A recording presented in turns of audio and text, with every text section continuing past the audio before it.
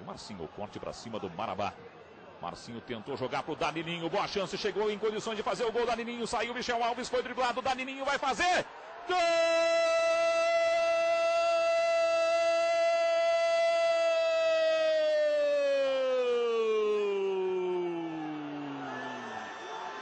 Danilinho, o número 7 do Atlético Mineiro no Jacone em Caxias do Sul, abrindo o placar. Um contra-ataque muito rápido. Danilinho pegou esse lançamento do Marcinho, virou do outro lado. Danilinho chegou na área do Juventude, conseguiu fazer o corte no Michel Alves, quase sem ângulo. O chute firme e cruzado, abrindo o placar em Caxias do Sul. Danilinho, quarto gol dele no Campeonato Brasileiro. Atlético 1, Juventude 0.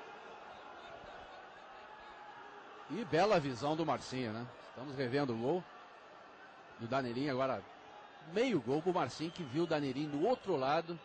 1 a 0 Atlético. Gol de Danilinho. Coelho bate a falta no meio do gol. Soltou Michel Alves. Pintou a chance. A bola foi pro gol no toque do Lúcio.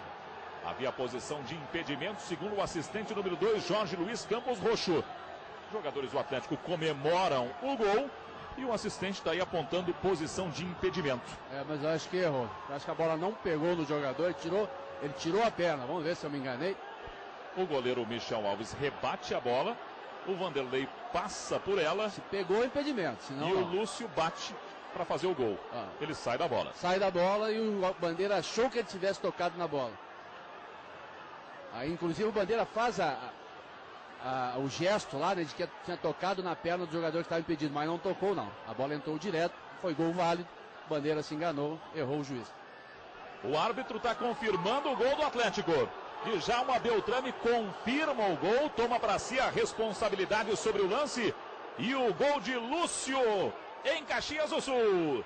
Atlético Mineiro 2, Juventude 0. Primeiro gol de Lúcio no Campeonato Brasileiro. Olha a cobrança de falta. O goleiro Michel Alves soltou, o Vanderlei estava na frente. Mas o Lúcio veio de trás. O Vanderlei saiu da bola. E o gol de Lúcio para o Atlético Mineiro.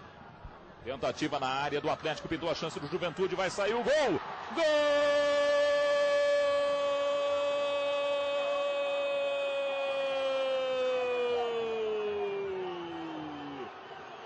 Ever, o número 18 do Juventude descontando em Caxias do Sul.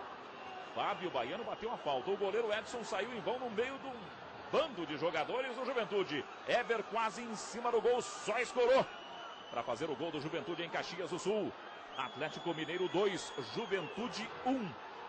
Eber, terceiro gol dele no Campeonato Brasileiro.